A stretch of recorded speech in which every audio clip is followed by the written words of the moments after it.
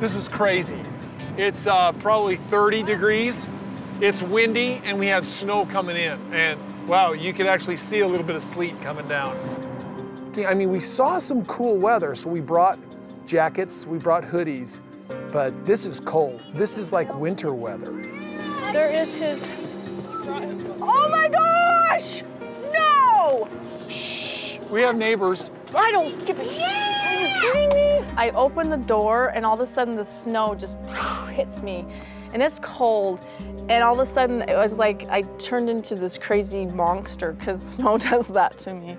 And I started like freaking out and you were like, we have neighbors. And like, I don't care.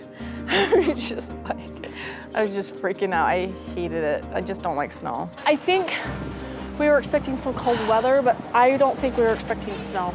I'll be your shield. I'll be your shield. Sucks, and I have I'll my be your shield. sandals on. I'll It came shield. from Las Vegas. Did not plan for snow. I'm running around prepping the RVs, basically getting the sewer and the water all hooked up. And as I'm doing this, um, I forget in the hurry of snow flurry, I forget to check the valves. Um, question. Oh! Push the, push it, Dad. Push it in. Sewage runs all over. I mean, we're talking the rawest kind of sewage. 'Cause- and it splatters, and it is just, and I am so mad. You guys didn't close these this morning. Yeah, we did. So uh, the sewage starts splattering and spraying, and I jump back, and I know, but it's just all gonna drain out. It's getting on my shoes. I know I've got to close those valves, so I get them closed, and I'm like livid. This is the only time I've been angry on this trip.